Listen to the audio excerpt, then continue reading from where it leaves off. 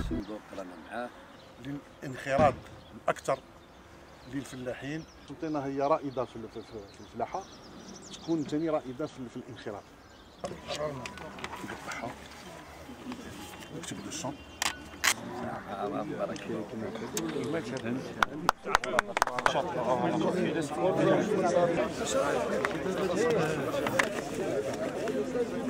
اليوم هي أيام تحسيسيه اللي قمنا بها déjà من قبل واللي تخص التوعية وتحسيس الفلاحين والمربيين والصيادين والمرأة الريفية لاكتساب des parts sociales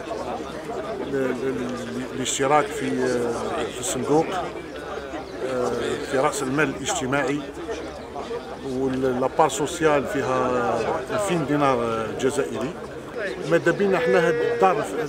الصندوق هو هو مكتب للفلاحين يكونوا كل الفلاحين المنخرطين في الغرفة الفلاحية يكونوا منخرطين في الصندوق. شاركنا في بشراء دي بار سوسيال آه، لدى الصندوق التعاون الفلاحي.